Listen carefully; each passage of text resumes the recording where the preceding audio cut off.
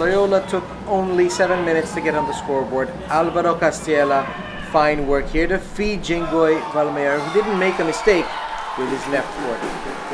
1-0 Loyola. Koichi Belgira showing his skill on this attempt. When the ball fell back to Valmayor, he shot wide.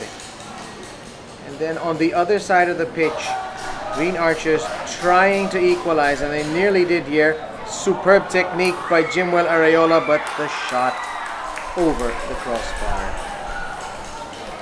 In the 20th minute, Loyola eventually extended the lead to 2-0. James Younghusband beating backup keeper Kim Versales of Green Archers United 2-0.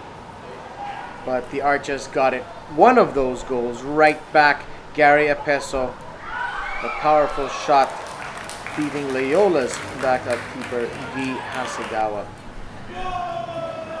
And then it was the turn of the keepers to shine. Versales alertly parrying this deflected attempt and denying the strong shot from Castella. The beginning of the second half, it was his opposite number, Hasegawa, who impressed, snuffing Jhan Jhan Melliza.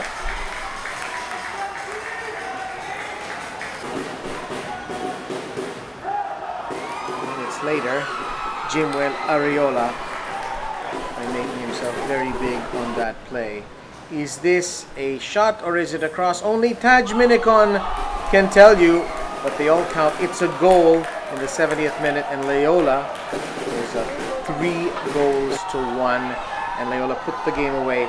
Three minutes later, Jinggoy Valmayor to Jake Morallo, the substitute, in the net.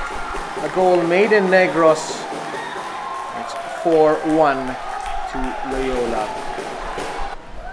Archers were without suspended defender William Ebanda, and it was up to Kim Versales to provide the last line of defense. Archers did get a second goal though. Sweet ball forward by Ronnie Agizanda. Taken by Jhan Jhan Melliza and he slides it past Hasegawa.